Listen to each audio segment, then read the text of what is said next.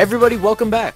Today, we are going to be teaching you how to fix your Bluetooth audio issues on your Oculus Quest 2. Let's jump right into it.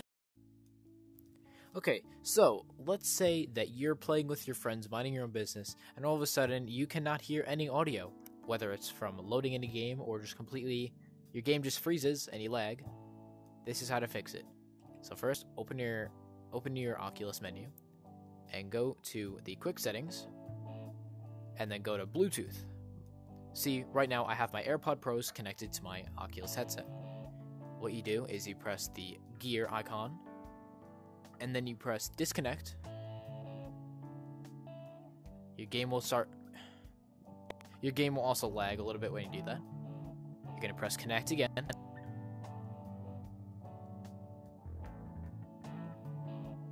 And then once your game is done lagging, you'll go back into Rec Room open your watch, and go to settings, audio, scroll all the way down you see voices I can hear, switch it to none, and then switch it back onto all.